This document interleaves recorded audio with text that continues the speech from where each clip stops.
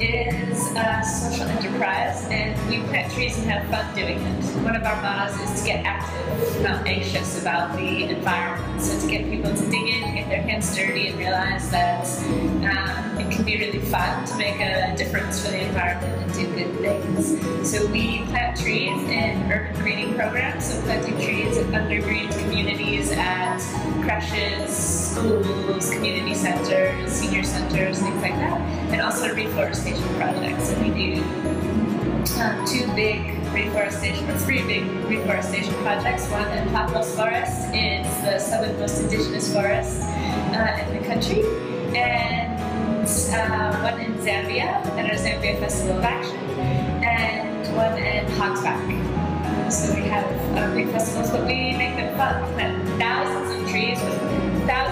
People, and we often incorporate music and parties and have a really good time. It's very, yeah, lighthearted and playful, and lots of fun.